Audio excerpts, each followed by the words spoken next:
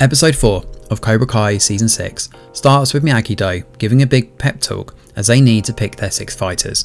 Johnny, Chozen, and Daniel are going to pick the best fighters and right now everybody is on a level playing field. Well, out of the characters you get the most screen time anyway.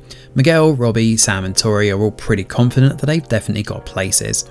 Demetri has already conceded that he won't and decides to focus on getting into MIT instead. Eli though gives him some words of encouragement. Elsewhere, Dango and Johnny come to blows over who they're going to pick for the tournament. They both have their own biases and need a fair judge of character.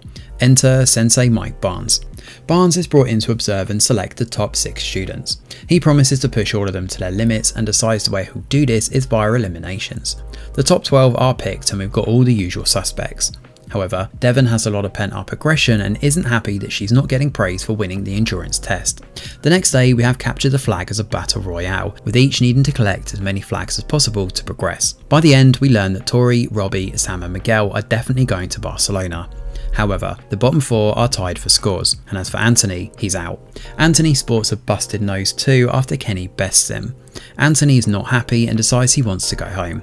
Bitterly disappointed about all of this and realising karate is not for him. That night, Johnny shows to see Barnes and apologises. However, he's really here to check on Devon, not to apologise. It turns out, Barnes has put her at the bottom of his list. Johnny is not happy especially as Barnes antagonises him and eventually calls him a goon for hire. Naturally, the pair come to blows after disagreeing over teaching methods and Johnny being called a cream puff.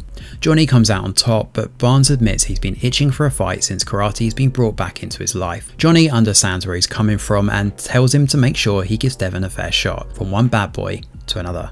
The next morning, Barnes gathers everyone and decides to give the final four a fair shake. It's too close to call, so there's going to be another opportunity.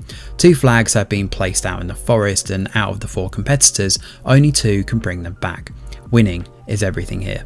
In the midst of this, Demetri is not happy when he finds out Eli never applied for MIT. He's rattled, while everything boils down to this. As the kids compete in the forest, Devon returns with a flag ahead of Kenny who's embarrassed as he comes back in and struggles to get into the toilet in time, while Hawk and Demetri fight over the remaining flag. Demetri takes a heel turn, cheap shotting Hawk and rushes back with the flag.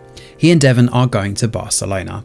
So the final six are Miguel, Sam, Tori, Robbie, Devon and Demetri.